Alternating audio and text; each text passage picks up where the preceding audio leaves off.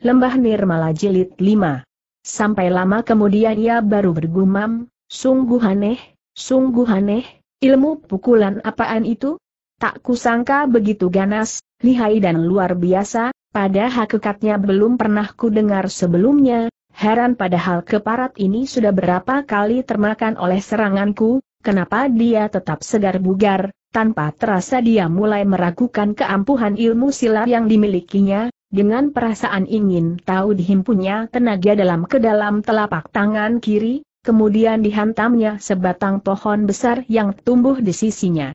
Kraaaaak, begitu terbacok, pohon besar itu segera patah menjadi dua bagian dan roboh ke atas tanah.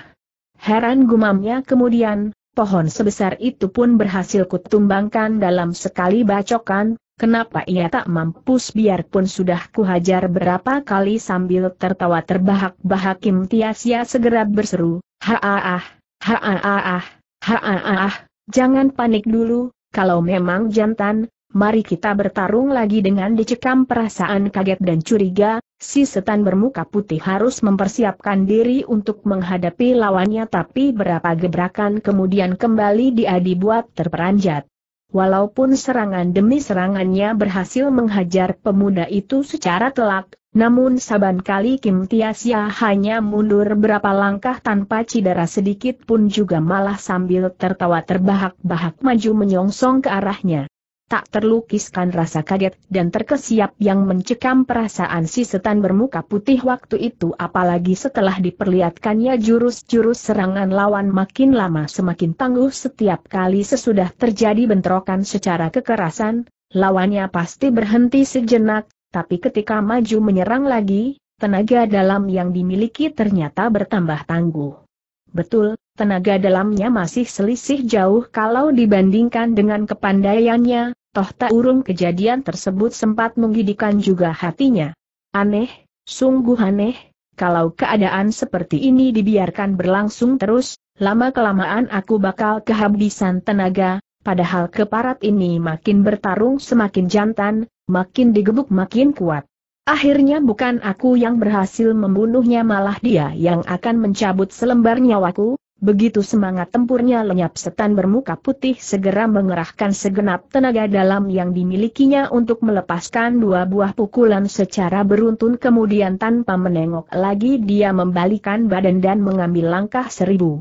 Akibat dari dua buah pukulan beruntun yang sangat kuat ini, Kim Tiasia terlempar jauh dari posisi semula, Angin pukulan yang menembusi tubuhnya seketika membuat kepalanya pening dan pandangan matanya berkunang-kunang, sampai lama sekali belum berhasil juga untuk merangkak bangun.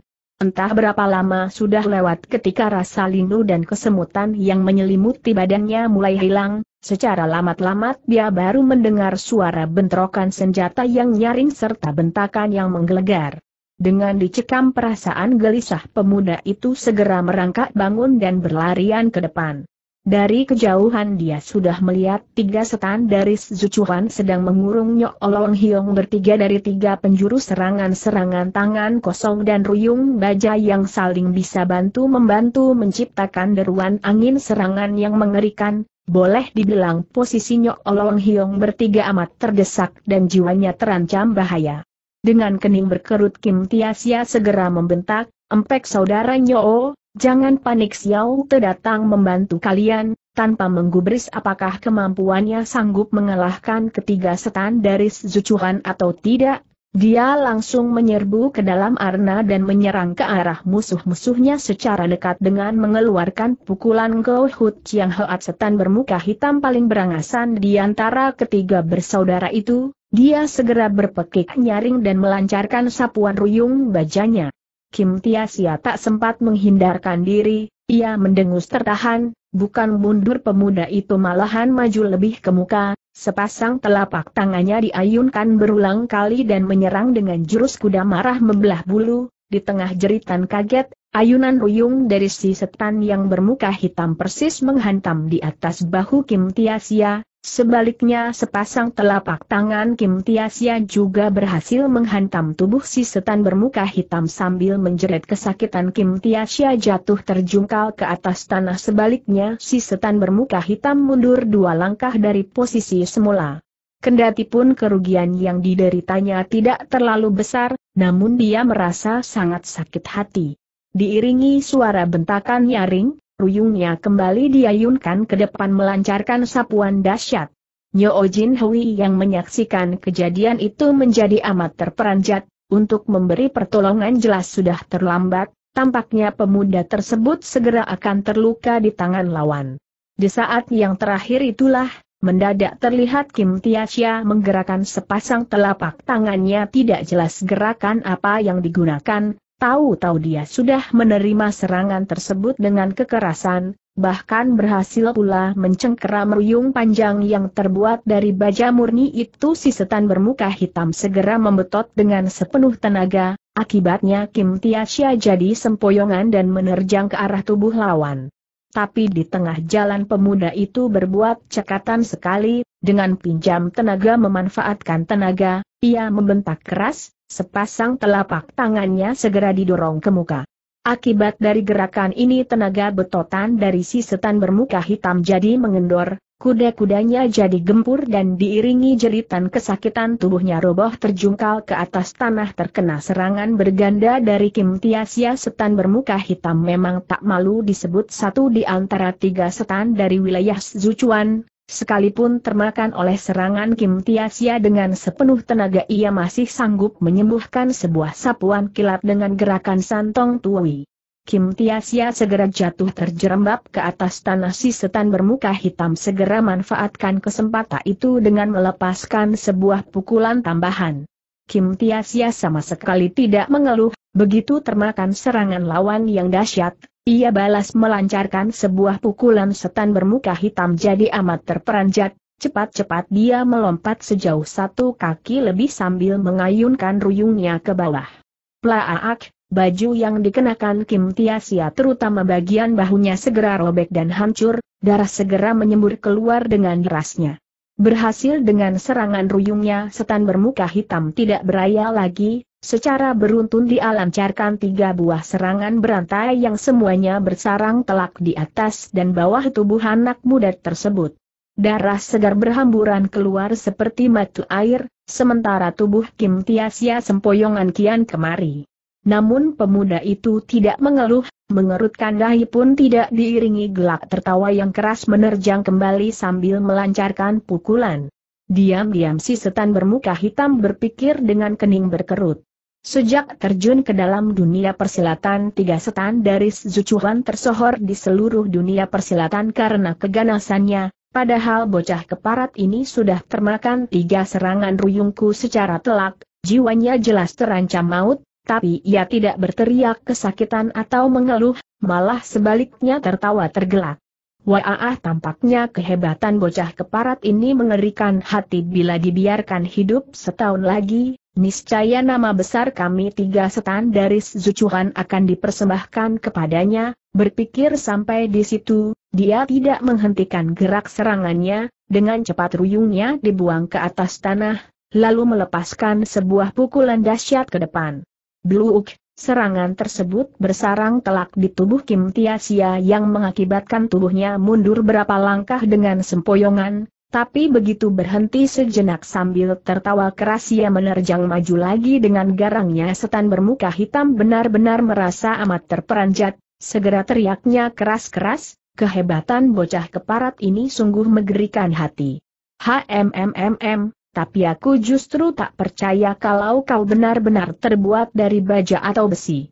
Mendadak terdengar si setan bermuka putih berteriak keras, JT, cepat mundur, kau boleh menyerang siapa saja yang berada di sini kecuali si bocah keparat itu. Cucu kura-kura itu sangat hebat, makin dihajar makin kuat, bila dihadapi lebih jauh, kitalah yang bakal menderita kerugian seperti diketahui, ilmu silat yang dimiliki si setan bermuka putih paling hebat di antara ia saudara-saudaranya, otomatis perkataannya mempunyai pengaruh yang besar pula. Si setan bermuka hitam yang selain menuruti saja perkataan kakaknya, tentu saja amat menaruh kepercayaan terhadapnya begitu terdengar seruan-seruan tersebut, dipandangnya Kim Tiasia sekejap dengan pandangan kaget bercampur tercengang. Lalu cepat-cepat mundur ke belakang. Dengan suara keras Kim Tiasia berkata, Hei, apakah kau tidak takut? Huuh pengecut, tak punya nyali, Hayo cepat kemari, menang kalah di antara kita toh belum selesai ditentukan tak terlukiskan rasa gusar si setan bermuka hitam, dia ingin menerjang maju ke depan tapi sebelum ia sempat bertindak terdengar si setan bermuka putih telah membentak keras. JT, jangan masuk perangkap. Bila kau layani tantangannya tak akan ada manfaat yang kau raih, Hayo cepat mundur, dengan perasaan gemas dan benci si setan bermuka hitam memandang sekejap ke arah Kim Tiasia, kemudian berjalan mendekati Nyo Olong Hiong bertiga dan ikut mengerubuninya. Waktu itu, Nyo Hiong bertiga yang sedang bertarung melawan si setan bermuka merah sudah keteter hebat, apalagi setelah bertambah dengan setan bermuka hitam, posisinya makin kritis dan bahaya sekali. Kim Tiasia sangat mengkhawatirkan keselamatan kakek angkatnya sambil membentak keras dia segera memburu ke depan mendadak. Nyo Long Hiong menjerit kesakitan, lalu mundur dengan tubuh sempoyongan. Jeritan kesakitan itu membelah keheningan malam yang mencekam seluruh jagat membuat suasana di sekitar situ terasa lebih mengerikan hati. Kim Tiasia tidak sempat menggubris dua bersaudara Nyo lagi dia langsung mendekati Nyo Olong Hiong yang terluka setan bermuka merah tertawa seram tiada hentinya, dia segera mengayunkan ruyung siap melepaskan serangan. Kim Tiasia membentak keras, belum lagi tubuhnya mencapai sasaran sebuah pukulan telah dilontarkan ke depan dengan suatu gerakan cepat. Si setan bermuka putih melompat keluar dari arena, kemudian teriaknya keras-keras, Samte, cepat mundur, jangan kau tangkis serangan dari bocah keparat itu. Dengan muka tertegun si setan bermuka merah melompat mundur ke arah belakang, untuk beberapa saat dia tak tahu bagaimana harus menghadapi situasi tersebut. Kim Tiasya menemukan paras muka Nyok Olong Hiong telah berubah menjadi pucat dia seperti mayat, peluh dingin bercucuran tiada hentinya, sekujur badannya gemetar keras, sudah jelas serangan beracun yang bersarang di tubuhnya membuat jiwa tuanya terancam bahaya satu ingatan dengan cepat melintas di dalam benaknya. Aku harus menotok jalan darahnya dengan cepat, kalau tidak hawa racun pasti akan menyerang ke jantung, bila dia sampai begini jiwa tuanya pasti tak akan tertolong lagi, Berpikir sampai di situ, ia segera berjongkok dan mengayunkan tangannya untuk menotok jalan darah Yeu Hang Hiat dan Chiang Bun Hiat di tubuh orang tua tersebut. Pada saat itulah, mendadak terdengar desiran angin tajam menyambar lewat, disusul kemudian bahunya terasa amat dingin. Ketika dia berpaling, dilihatnya nona berbaju merah itu sudah berdiri di belakang tubuhnya dengan wajah penuh amarah. Hei, apa yang hendak kau lakukan terdengar nona itu membentak dengan suara nyaring. Tentu saja menolong jiwa dia orang tua, mengapa kau menghalangi perbuatanku sahut Kim Tiasia tertegun setelah punggungnya terasa dingin tadi, rasa sakit yang tak terkirakan serasa menusuk tulang. Pemuda itu mencoba meraba bagian yang sakit itu, ternyata basah kuyup. Menanti ia periksa tangannya yang basah, baru diketahui darah kental telah menodai seluruh tubuhnya. Ia tahu luka yang mengakibatkan pendarahan itu pasti merupakan hasil perbuatan Nyo Soat Hong, tapi sebagai pemuda yang jadian tersebut tanpa mengucapkan sepatah kata pun dia membalikan tubuhnya lagi serta menotok jalan darah Yeu Hang Hiat dan Chiang Bun Hiat di tubuh Nyok Olong Hiong. Setelah itu dia membopong tubuh orang tua itu dan beranjak pergi dari situ dengan langkah lebar. Sementara itu tiga setan dari Zucuhan yang takut dengan kelihayan ilmu silat Kim Tiasia terutama daya kemampuannya untuk menahan serangan tanpa mati, serta makin digebuk makin perkasa itu, diam-diam ngeloyor pergi dari situ tanpa mengucapkan sepatah kata pun. Nyo Soat Hang berdiri termangu-mangu di tempat dengan mulut membungkam, sekarang dia baru menyesal karena telah bertindak gegabah sehingga membalas air susu dengan air tuba. Ia tak menyangka kalau Kim Tiasia sedang berusaha menolong jiwa ayahnya setelah membacok tubuh Kim Tiasia tadi yang menyebabkan munculnya luka yang cukup dalam serta bercucurannya darah segar dia jadi malu sendiri hingga untuk sesaat malah berdiri termangu. Pancaran rasa menyesal mencorong keluar dari balik matanya yang jeli, bibirnya digigit kencang-kencang, untuk beberapa saat lamanya dia tak tahu bagaimana perasaannya waktu itu. Di lain pihak Nyo Jin Hui telah membantu untuk membalutkan luka yang dideritanya Kim Tiasia. Kemudian katanya dengan perasaan terkejut, Hiante, lukamu begitu parah darah yang mengalir pun begitu banyak, cepatlah beristirahat biar aku yang merawat ayah, Kim Tiasia tertawa. Tidak apa-apa luka yang kuderita ini tidak terhitung seberapa, bila aku tak dapat menahannya bagaimana mungkin aku bisa membalaskan dendam sakit hati guruku di kemudian hari melihat pemuda tersebut kukuh dengan pendiriannya, Nyo Jin Hui pun menghela napas panjang dan tidak mendesak lebih jauh. Mendadak ia seperti teringat akan sesuatu, diawasinya wajah Nyo Soat Hang dengan pandangan tajam, kemudian hardiknya, adikku, orang lain toh sudah berulang kali mengalah kepadamu, mengapa kau justru mendendam terus kepadanya bahkan membalas air susu dengan air tuba? Bila ayah telah sadar nanti dan menanyakan duduknya persoalan, akan kulihat bagaimana jawabmu nanti, waktu itu Nyo Soat Hang sedang dicekam perasaan menyesal yang amat tebal, begitu ditegur oleh kakaknya, ia menjadi sedih sekali sehingga tak tertahan lagi dua titik air mata jatuh berlinang membasahinya sambil tertawa Kim Tiasia segera berpaling seraya katanya. Sudahlah saudara Nyo, lukaku toh tidak parah dan aku masih sanggup menahan diri, kalau dibicarakan betul justru akulah yang harus berterima kasih kepada Nona Nyo, seandainya dia tidak berbelas kasihan dengan mengurangi tenaga serangannya sebesar tiga bagian mungkin aku tak akan mempunyai kesempatan lagi untuk berjumpa muka dengan dirimu, Nyo Soat Hang merasakan hatinya makin pedih dan tersiksa akhirnya sambil menggertak gigi ia membalikan badan dan segera berlalu dari situ sepeninggal gadis tersebut, Nyo Jin Hui baru berkata lagi sambil menghela napas. Kim Hyante, aku merasa amat bersalah kepadamu, bayangkan saja dengan watak adikku yang begitu keras kepala, Berulang kali dia mematuhi dirimu. Coba kalau berganti orang lain mungkin sedari tadi sudah pergi meninggalkan aku. Untung Hyante adalah seorang yang berjiwa besar dan berpikir luhur. Tidak mengikat dendam, tidak membenci orang.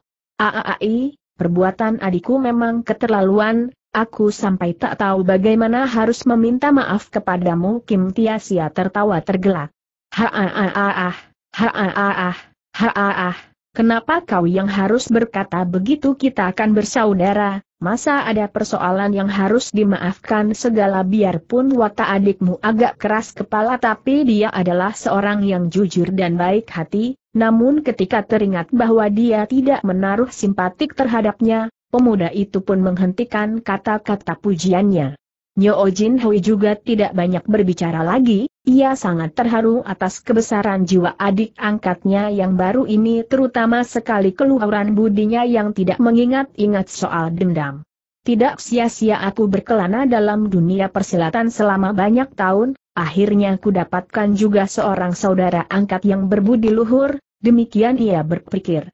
Ia segera mengeluarkan pil mustika dari sakunya dan dijejalkan ke mulut Nyok Olon Hyong, kemudian mengambil sebutir lagi dan diserahkan kepada Kim Tiasia.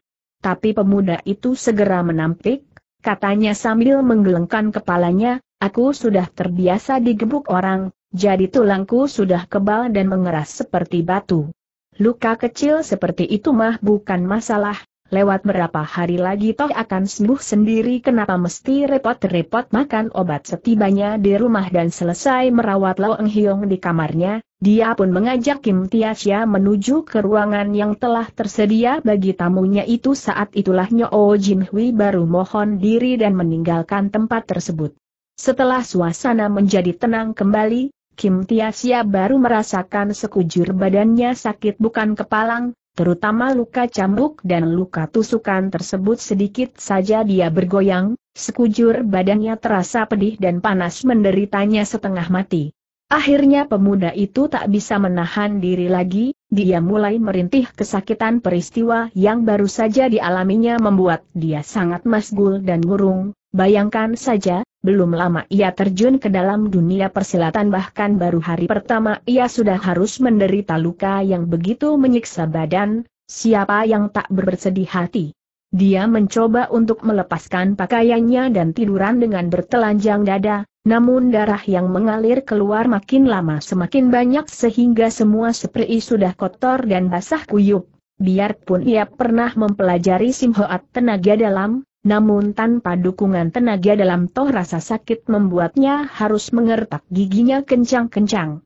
Pemuda itu tak ingin merintih, apalagi menjerit keras-keras sebagai pemuda yang keras hati, dia tak ingin ditertawakan seisi rumah itu terutama para pelayannya. Kentongan pertama sudah bergema rembulan telah bersembunyi di balik awan gelap suasana amat hening dan gelap gulita. Baru saja Kim Tiasia habis memadamkan lampu dan bersiap-siap akan tidur, mendadak terdengar suara langkah kaki manusia yang amat lirih berkumandang datang.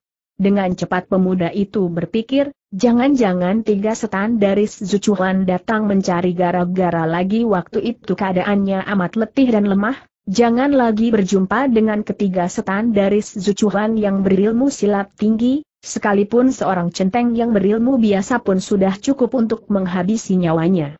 Dalam keadaan begini dia hanya bisa berusaha untuk memperingan pernapasannya agar tidak terdengar orang lain sementara sepasang matanya dipentangkan lebar-lebar dan memperhatikan langkah kaki yang mendekat itu dengan seksama suara langkah kaki yang lirik itu mendadak terhenti sampai di tengah jalan agaknya ada seorang telah tiba di depan pintu dan kini sedang mempertimbangkan apakah akan masuk ke dalam atau tidak. Tiba-tiba saja Kim Tiasya merasakan seluruh hatinya menjadi tegang, andai kata yang datang adalah sahabatnya masih mendingan, bila musuh yang munculkan diri, sudah jelas dia tak mampu melakukan perlawanan. Padahal dendam kesumat kematian gurunya belum sempat dibalas, tiba-tiba saja dia merasa hatinya amat pedih. Waktu sedetik demi sedetik lewat dengan cepatnya, Suasana hening yang menyeramkan serasa mencekam seluruh jagat, sekalipun Kim Tiasya memiliki nyali yang lebih besar pun tak urung bermandi keringat dingin juga saking ngeri dan seramnya. Mendadak satu ingatan melintas di dalam benaknya, jangan-jangan ada setan atau dedemit yang datang malam sudah begini kelam semua orang sudah pergi beristirahat, siapa lagi yang mau berjalan-jalan di tempat luaran? Aa, Benar-benar tak kusangka kalau dalam perkampungan Liong Lim Cheng benar ada setannya, dengan perasaan ngeri bercampur seram dia segera celingukan ke mana-mana, tetapi yang terdengar hanya suara hembusan angin yang menderu-deru menggoyangkan ranting pohon dan menerbangkan pasir dan dedaunan kering, ditambah pula suara aneka binatang kecil yang membentuk irama malam. Rasanya suasana di situ makin lama semakin menggidihkan hati. Biarpun Kim Tiasia tidak takut dengan setan, tak urung hatinya mulai goyah juga setelah menghadapi keadaan seperti ini. Cucuran peluh dingin hampir saja menembusi seperti dan pembaringan titik.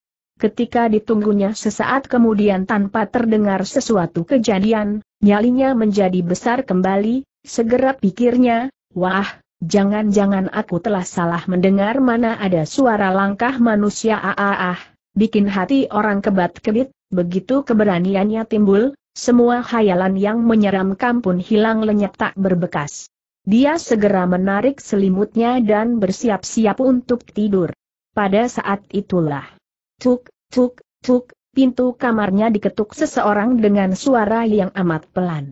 Di tengah keheningan malam yang mencekam seluruh jagat, Beberapa kali ketukan pintu itu tak sebuah pun yang lolos dari pendengaran Kim Tiasia kontan saja semua khayalan yang menyeramkan muncul kembali mencekam perasaannya. Dengan menghimpun sisa kekuatan yang dimilikinya pemuda itu segera menyilangkan telapak tangannya di depan dada untuk berjaga-jaga atas terjadinya sesuatu peristiwa yang tidak diinginkan. Mendadak terdengar seseorang menghela napas lalu bergumam dengan suara pelan aaai, Aku tahu, kau sangat marah kepadaku dan tak sudi berjumpa denganku tapi entah mengapa, hatiku tak pernah merasa tenteram sebelum aku datang menemuimu, Kim Tia merasa suara tersebut sangat dikenal, tapi seperti lupa-lupa ingat, ketika memperhatikan dengan seksama, akhirnya dia mengerti bahwa orang yang sedang bergumam di depan pintu tak lain adalah adik perempuan Yo Jin Hui yakni Yo Soat Hong. Heran sudah semalam ini mau apa dia mengetuk pintu kamarku demikian pemuda itu berpikir. Wah ah, ah Jangan-jangan dia siluman rase yang menirukan logat suara adik perempuannya Nyok Olin Hui untuk menggoda aku semula bulu kuduknya pada bangun berdiri, peluh dingin kembali membasahi seluruh badannya, tentu saja dia semakin tak berani membukakan pintu. Dari luar pintu kembali terdengar suara gemerisik, nampaknya gadis itu sedang membersihkan debu dari pakaiannya kemudian baru terdengar ia menegur, Kim Tia Siaka sudah tidur sekarang suaranya makin jelas, tak salah lagi dia memang Nyo Soat Hong. Kim Tia Sia segera berpikir lebih jauh, peduli amat dia setan atau didemit atau siluman yang datang menggoda, toh mati hidup manusia berada di tangan Tian. Coba kulihat peristiwa apakah yang terjadi berpikir begitu, dia pun segera menyahut, apakah Nona Nyo di situ? Aku belum tidur lagi pula. Pintu kamar tidak dikunci. Silahkan masuk. Agaknya orang di luar pintu terkejut tapi setelah sanksi sejenak akhirnya dia mendorong pintu dan berjalan masuk ke dalam. Cahaya api berkilauan menyinari seluruh ruangan ternyata gadis itu muncul dengan membawa setengah pohon lilin, angin yang bertiup membuat cahaya api bergoyang kian kemari, tapi masih terlihat dengan jelas bahwa orang itu memang tak lain adalah Nyo Soat Hang yang keras hati. Keangkuhan dan ketinggian hatinya telah lenyap dari mimik mukanya waktu itu keningnya nampak berkerut kencang dan bibirnya terkatup rapat, sekalipun tidak melunturkan kecantikan wajahnya, namun terpampang jelas kemas bulan dan rasa murung yang tebal. Pelan-pelan ia duduk sambil menundukkan kepalanya rendah-rendah, Mulutnya terbungkam dalam seribu bahasa rupanya dia sedang mempertimbangkan bagaimana mesti membuka suara hingga kedengarannya serasi dan tak janggal. Tidak jamak seorang perempuan mengunjungi kamar tidur seorang lelaki, apalagi di tengah malam buta begini, betul mereka berdua sama-sama merupakan anggota persilatan, namun sedikit banyak tradisi dan adat istiadat toh mesti dipegang teguh. Sebab bila kejadian tersebut sampai tersiar luas di tempat luaran bukan saja dapat berakibat nama rusak martabat hancur, bahkan berita sensasi yang tersebar luas dapat mengundang pandangan rendah dan hina orang lain terhadap dirinya. Setengah harian sudah dia memutar otak namun belum juga ditemukan kata-kata yang rasanya pantas untuk diucapkan. Lama-kelamaan dia menjadi gelisah dan panik sendiri sehingga paras mukanya berubah menjadi merah padam dan kepalanya ditundukkan semakin rendah sejak masuk ke dalam kamar, nona itu hanya duduk melalui tanpa berbicara ataupun melakukan sesuatu perbuatan, rasa main membuat mukanya memerah dan tertunduk rendah. Berapa kali ia mencoba untuk buka suara tapi setiap kali seperti teringat akan sesuatu sehingga niat tersebut akhirnya diurungkan kembali. Kim Tiasya jadi keheranan, tiba-tiba ia menegur, Nona, sebenarnya kau ada urusan apa katakan saja berterus terang, pokoknya asal dapat kulakukan, aku pasti tak akan membuat kau merasa kecewa. Pelan-pelan Nyo Soat Hing mendongakkan kepalanya, dengan pancaran sinar-sinar mata penuh rasa menyesal dia berkata, semenjak aku salah melukaimu tadi, hatiku menjadi risau dan tak pernah merasa tenang, Seolah-olah aku telah melakukan suatu perbuatan yang jahat sekali. Maka aku datang dengan membawa obat luka, sebab bila lukamu tak dapat sembuh, selamanya aku pun tak akan merasa tenteram, cepat-cepat Kim Tiasya menggelengkan kepalanya. Lukaku sangat ringan, mengapa sih harus kau risaukan? Lewat berapa hari, luka itu toh akan sembuh dengan sendirinya, harap Nona tak usah risau, ia memang tidak menaruh kesan baik terhadap gadis ini, di dalam hati kecilnya kembali dia berpikir, huh, siapa tahu kalau kau berpura-pura sedih, seperti kucing menangisi tikus, sudah melukai orang, kini ingin mengobati. Huh, apa gunanya? Tahu begini, mengapa harus berbuat di waktu itu terdengarnya Oh Soat Hang berkata lagi sambil menghela napas. Aku tahu kau amat membenciku, tak sudi menerima kebaikanku, aku dapat memahami perasaanmu itu, tapi, aku tak pernah tenteram sebelum mengobati lukamu itu, karenanya sengaja aku kemari dengan membawa obat luka yang khusus saya bawa dari wilayah Bian asal lukamu diobati, tanggung dalam dua hari saja luka tersebut sudah sembuh kembali Nona tak usah salah paham, terus terang saja aku telah melupakan peristiwa tersebut, apalagi membenci Nona. Harap engkau jangan memandang rendah karakterku berkilat sinar gembira dari balik matunya Oh Soat Hang setelah mendengar perkataan itu, segera tegasnya, jadi kau benar-benar tidak membenciku? Aku tidak pernah berbohong kepada siapa pun. Yo Soat Hang makin kegirangan, dia segera melompat bangun, tapi sesaat kemudian dengan kening berkerut pelan-pelan dia duduk kembali, katanya sambil menghela napas sedih, kalau memang tidak membenciku lagi, mengapa kau melarangku untuk mengobati lukamu itu Kim Tiasia tertawa getir. Aku toh seorang manusia kasar yang tak ada harganya dikasihani, penderitaan macam apa saja pernah kuderita, lalu apa artinya luka sekecil itu biarlah maksud baikmu ku terima di dalam hati saja, sekalipun kau berpendapat begitu, tapi tidak demikian dengan perasaanku, Gara-gara peristiwa ini, aku tak bisa tidur dengan tentram, sewaktu mengucapkan perkataan tersebut, wajahnya nampak murung dan sedih rasa menyesal jelas menyelimuti seluruh wajahnya sampai di sini, Kim Tiasia kembali berpikir. Biarpun dia keras kepala dan kasar, namun sikapnya tak terlepas dari kegagahan seorang pendekar wanita dari kaum lurus, tanpa terasa pemuda itu mulai menaruh kesan baik terhadapnya setelah berhasil menenangkan hatinya, dia pun berkata, Nona, pulanglah ke kamarmu, luka di tubuhku tak dapat diobati, berubah hebat paras muka Nyo Soat Hang setelah mendengar pemuda itu mengusirnya dari sana, dengan sedih dia berkata, Aaai, aku mengerti kau tak akan puas sebelum melihat aku menderita selama berapa hari, tapi, Yaa, siapa suruh aku membalas air susu dengan air tuba, Dua titik air mata, tanpa terasa jatuh berlinang membasahi wajahnya, perasaan murung sedih dan masgul bercampur aduk menjadi satu mencekam perasaan hatinya. Tak tega juga Kim Tiasya melihat keadaan nona itu, segera ujarnya dengan perasaan iba, baiklah, daripada timbul kesalahan paham di dalam hatimu, lebih baik aku menuruti saja kehendakmu itu jadi kau menuruti serunya oh soat hang girang, semua kemurungan dan kemasgulan yang menyelimuti wajahnya hilang lenyap tak berbekas. Tiba-tiba gadis itu merasa jengah sendiri, bagaimana tidak di tengah malam buta begini dia berada dalam satu kamar bersama seorang pemuda, bahkan tanpa sebab menunjukkan perasaan girang yang meluap apakah hal semacam ini tidak mudah menimbulkan kecurigaan orang. Karenanya dengan tersipu-sipu ia menundukkan kembali kepalanya. Hayolah desak Kim Tiasia kemudian bila ingin mengobati lukaku, lakukanlah secepatnya, aku sudah letih sekali, begitu ucapan tersebut diucapkan, Nyo Soat Hang kembali mengerutkan dahinya rapat-rapat katanya kemudian darahmu sudah kelewat banyak yang mengalir keluar, tak heran kalau tubuhmu gampang letih dan mengantuk. Aaai, kesemuanya ini memang kesalahanku, akulah yang telah mencelakaimu, entah bagaimana jadinya bila ayah menegurku besok, tak usah khawatir, bila ayahmu berniat menegur atau mengumpatmu, aku tentu akan membelamu. Berbicara sampai di sini, dia merasa letih dan mengantuk sekali sehingga tanpa sadar dia terlelap tidur.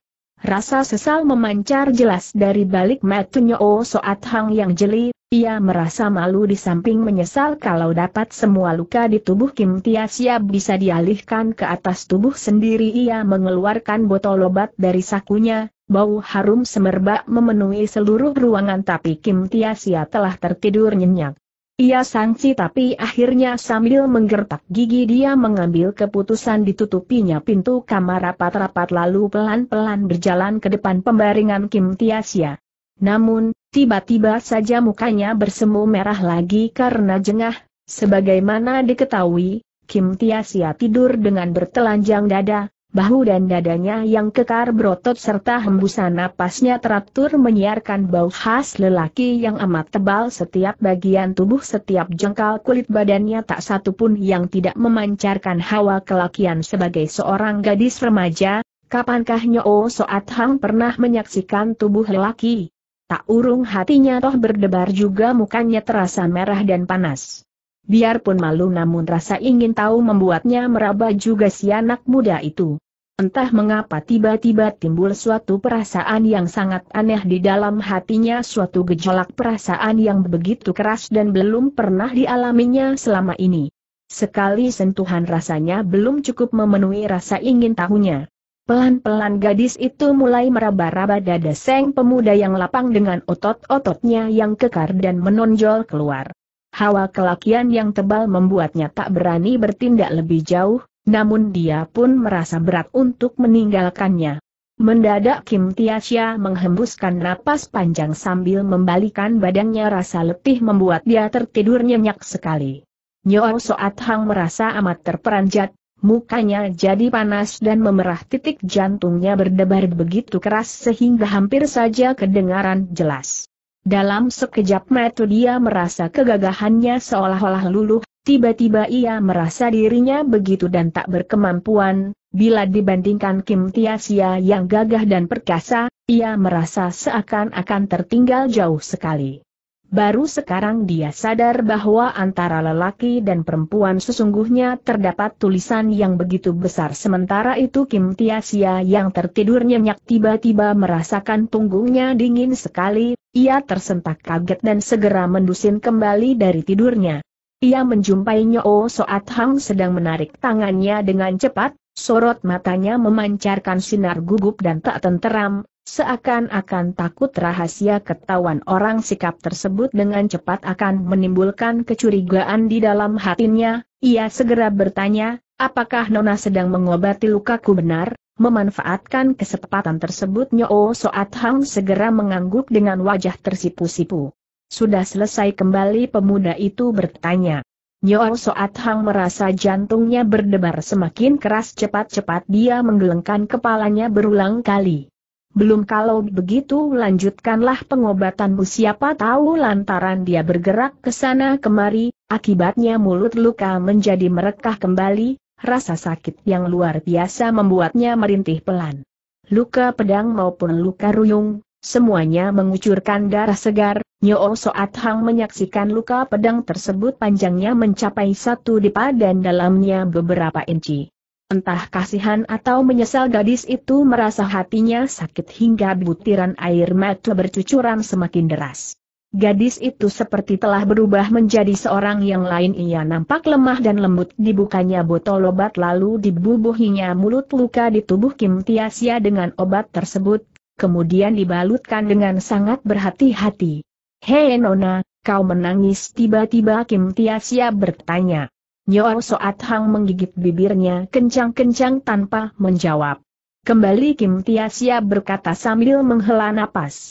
Aku tahu hatimu tak tenteram tapi aku berani bersumpah di hadapan Tian bahwa aku tak pernah membencimu Nyo Soat Hang merasakan hatinya jadi hangat dan tak terlukiskan gembiranya, semua kesedihan dan kemasgulan yang mencekam perasaannya selama ini seolah-olah hilang lenyap dengan begitu saja setelah mendengar perkataan itu, Sebaliknya sekulum senyuman yang aneh segera menghiasi wajahnya sebetulnya Nyo Soat Hang merupakan seorang gadis cantik, senyuman tersebut membuat wajahnya nampak lebih manis dan menawan hati, jauh berbeda dengan sikap dingin, ketus dan angkuh yang diperlihatkan sebelumnya.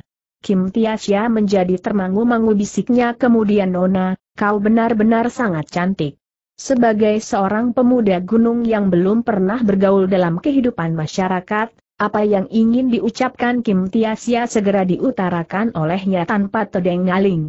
Hal ini membuat Nyo Soat Hang menjadi makin girang, ucapan tersebut dirasakan jauh lebih menarik dan menghangatkan tubuhnya daripada beribu-ribu patah kata lainnya sambil tersenyum lirih segera serunya, omong kosong, Kim Tiasia tertegun tapi kembali katanya, tidak, Aku tidak bohong, Aku berbicara dengan bersungguh hati senyuman yang menghiasi wajahnya Oh Soat Hang makin cerah dan makin manis ya seperti lagi menikmati hangatnya perkataan tersebut. Kentongan kedua berkumandang dari kejauhan sana. Gerakan Nyo Soat Hang yang mengobati luka tubuh anak muda itu pun makin lama semakin perlahan dia berhenti bergerak, berhenti untuk selamanya. Selama ini, Pikirannya melayang entah sampai ke mana dan entah apa saja yang dipikirkan olehnya selama ini.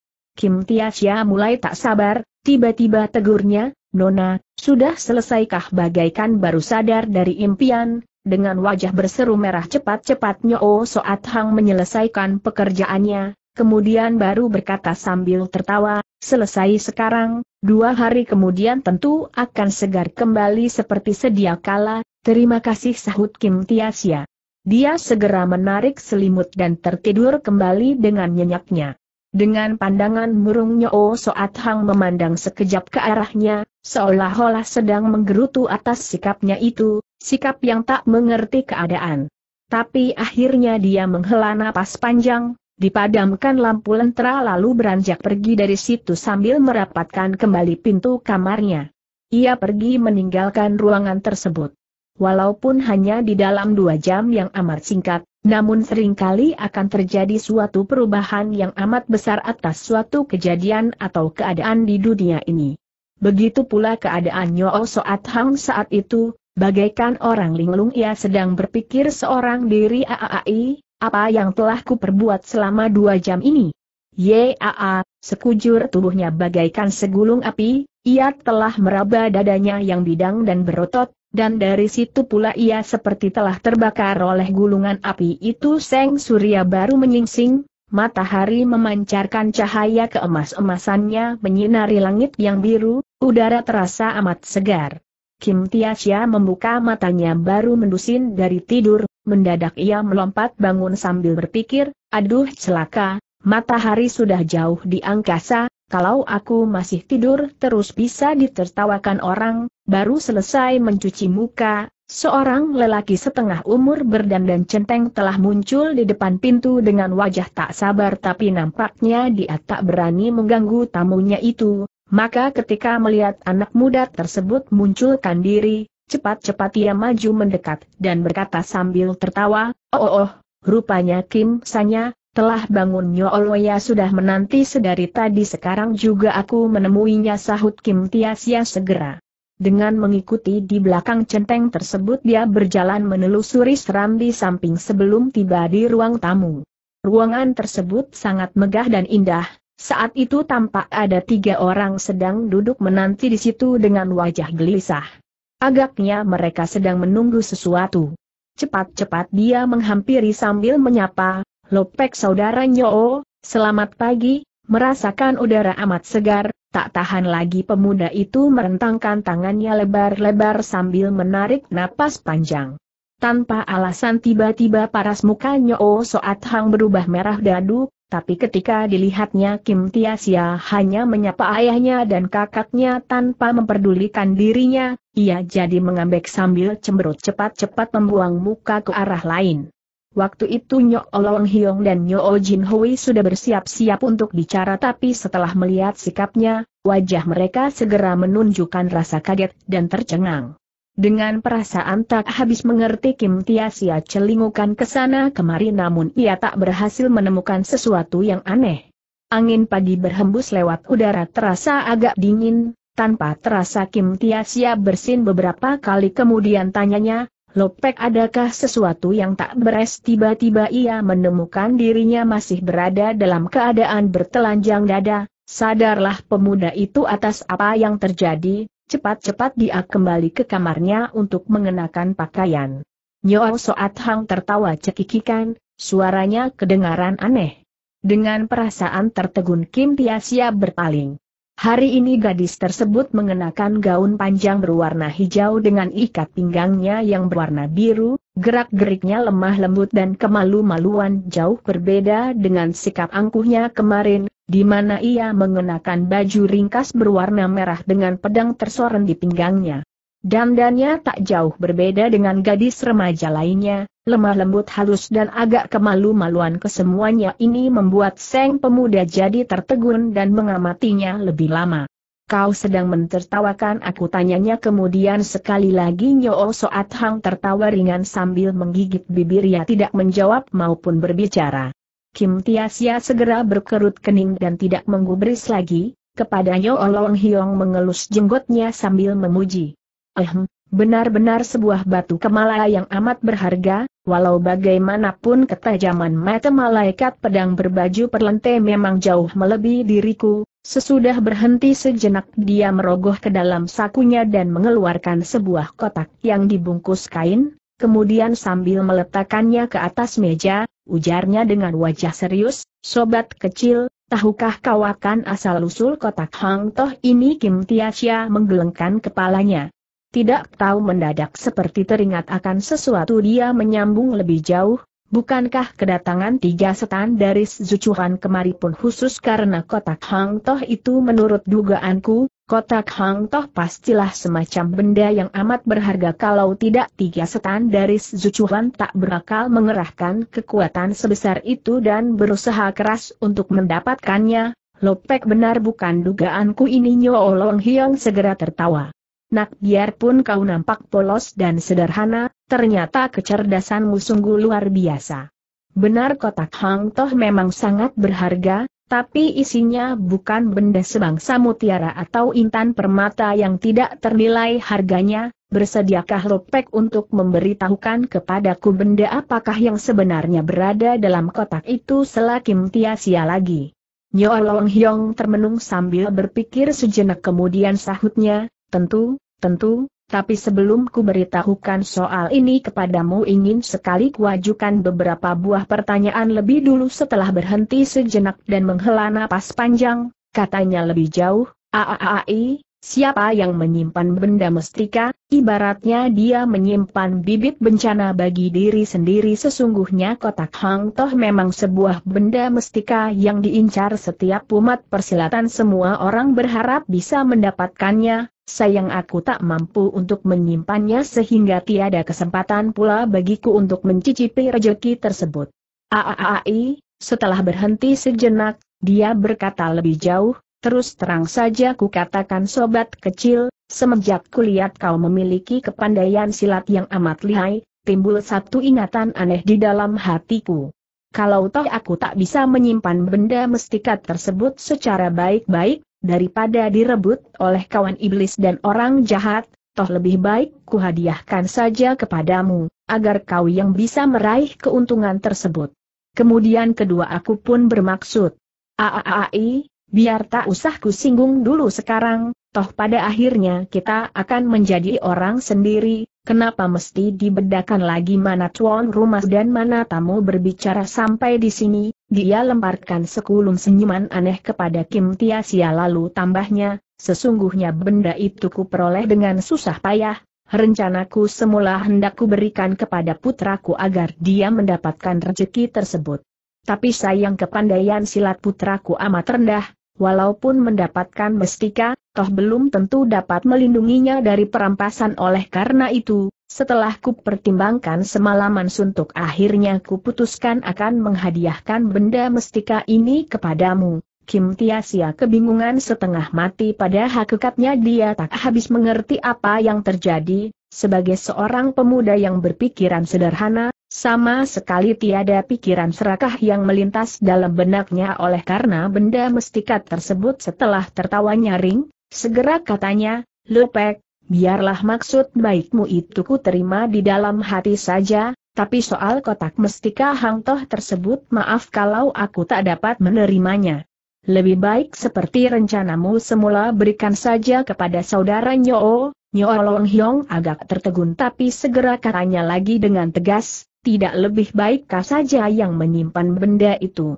Putraku tak becus dan tidak memiliki kemampuan apa-apa mengapa dia mesti menyimpan bibit bencana baginya? Dan lagi bukankah di kemudian hari kita akan menjadi orang sendiri kenapa kau harus menampik lagi? Haaah, haaah, haaah, dengan perasaan bingung dan tak habis mengerti Kim Tiasia termenung sebentar, Tapi belum juga diperoleh jawaban maka dia pun bertanya dengan wajah keheranan maafkanlah kebodohanku, aku tak mengerti apa yang empek maksudkan dengan menjadi orang sendiri itu Nyok Olong Hiong seperti ingin mengucapkan sesuatu namun niat tersebut kemudian diurungkan setelah tertawa aneh, katanya pelan, di kemudian hari toh akan mengerti sendiri, kenapa mesti ditanyakan sekarang? Ha-ah-ah, ha-ah-ah, ha-ah-ah. Kim Tiasia segera memutar biji matanya sambil berpikir sejenak, tiba-tiba dia seperti teringat akan sesuatu, karena dianggap sudah memahami maksud orang, dia pun turut tertawa terbahak-bahak. Ha-ah-ah, ha-ah-ah, ha-ah-ah, betul, kita memang orang sendiri, aku telah mengangkat saudara dengan saudara Nyoo. Bila dihitungkan kembali, aku masih terhitung putra angkat Empek.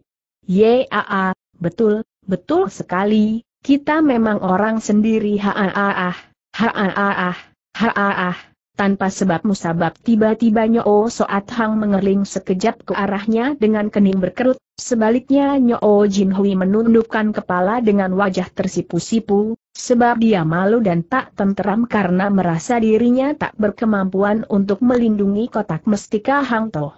Dengan suara yang lembut dan penuh keramahan, Nyolong Hiong berkata lagi, mari sobat kecil, simpan dulu kotak mestika Hang Toh tersebut ke dalam sakumu. Ketahuilah para pengincar benda mestika itu tersebar di mana-mana, bahkan bisa jadi mereka telah bersembunyi di sekitar tempat ini.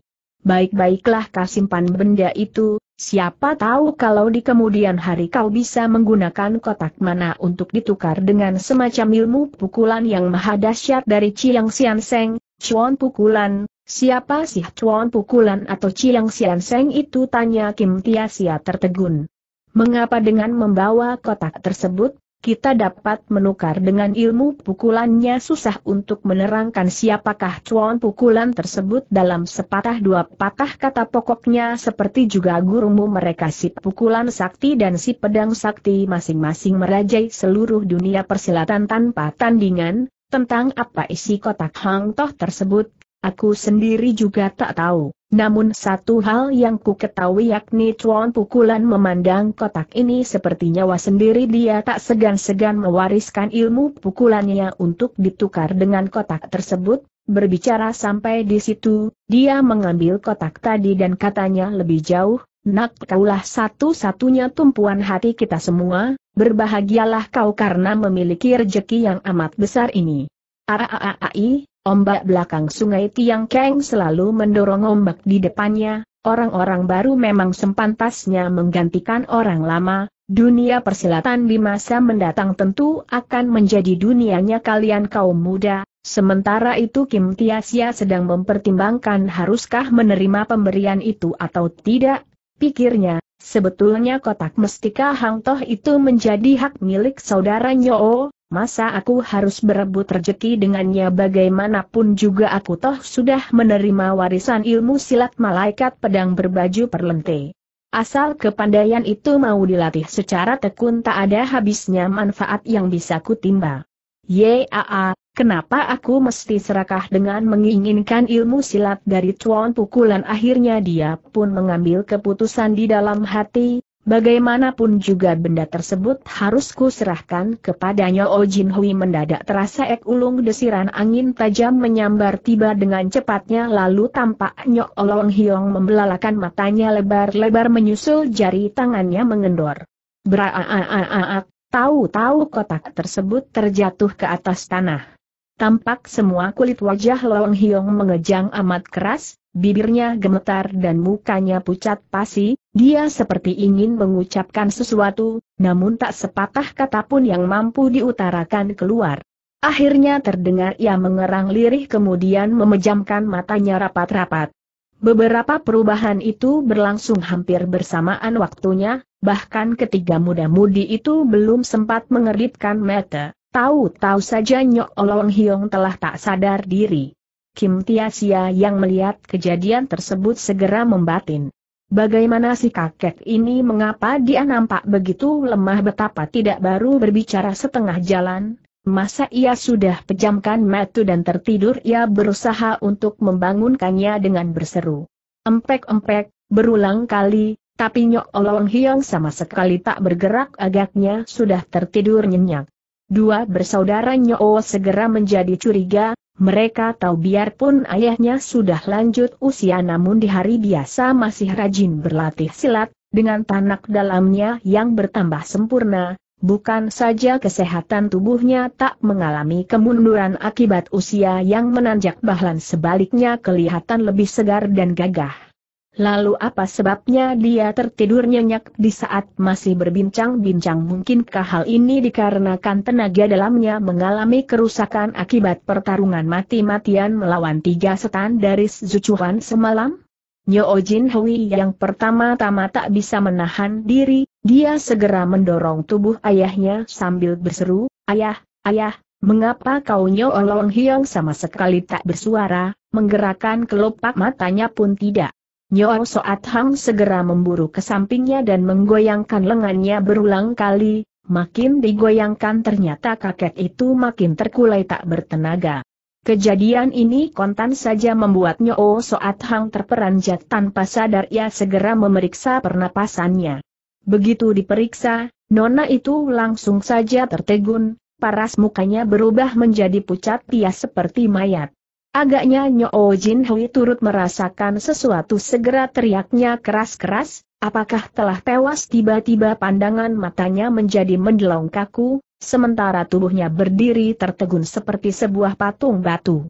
Kim Tia Siap pun cepat-cepat memusatkan perhatiannya kembali dengan memeriksa denyutan jantung si kakek ternyata detak jantungnya memang sudah berhenti. Dia sudah mati, bisiknya kemudian. Tapi seluruh badannya sama sekali tidak meninggalkan bekas apa pun, Nyo Long Hyong telah meninggal dunia dengan tenang sekali.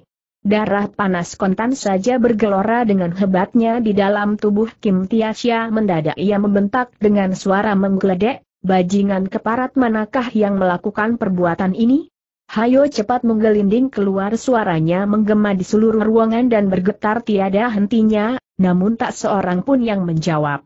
Mendadak tampak bayangan hitam berkelewat-lewat, Disusul kemudian terasa segulung tenaga pukulan yang beratnya mencapai berapa ribu kali menghantam ke arah dadanya serta merta Kim Tiasya mengayunkan tangannya untuk menyambut ancaman tersebut dengan kekerasan.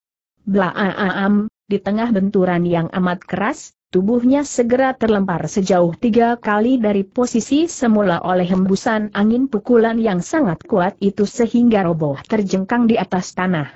Menanti rasa kagetnya sudah hilang dan merangkak bangun dari atas tanah, kotak Hang Toh yang berada di atas meja, kini sudah lenyap tak berbekas. Ayah sambil menangis terseduh Nyo Soat Hang menjerit keras sekali. Tiba-tiba tubuhnya terjungkal ke atas tanah. Untung Kim Tiasia bertindak cepat dia maju dua langkah ke depan dan menyambar pinggangnya, ketika diperiksa, tampak nona itu pejamkan matanya rapat-rapat, ternyata sudah roboh tak sadarkan diri maka dengan cepat pemuda itu menarik tubuhnya serta didudukan ke atas kursi. Kemudian ketika dilihatnya Nyo Jin Hui berdiri kaku di tempat yang seperti orang linglung yang kehilangan pikiran dan perasaan seakan-akan tak merasakan lagi kejadian di depan matanya. Kim Tiasia segera mendekatinya, lalu tanpa berpikir panjang dia mendorong tubuh saudaranya sambil membentak, Hei, Nyo Jin Hui, Nyo Jin Hui masih tidak merasa maupun mendengar, menanti pukulan itu hampir mengenai tubuhnya ia baru tersentak bangun dari lamunannya, namun tubuhnya toh sempat terdorong maju sejauh tiga empat langkah lebih sesudah berhasil memulihkan kesadarannya pemuda itu baru menangis sambil memeluk jenazah ayahnya, suara tangisannya amat keras dan memedihkan hati. Kim Tiasia berkerut kening, teriaknya lagi keras-keras. Saudara Nyo cepat ambilkan pedang milikku itu setelah menangis sekian waktu. Pelan-pelan Nyo Jin Hoi dapat mengendalikan kembali emosinya dengan sepasang mata merah membara ia bertanya, mau apa kau HHMM, tentu saja membalaskan dendam bagi lepek jawab Kim Tiasia sambil mendengus marah. Mari kita berangkat bersama kemudian setelah mengambil pedang lengguat kiam tersebut dan diserahkan kepada Kim Tiasia, dia berkata lagi, mari kita mencari dengan pisah jalan, kau ke barat dan aku ke timur.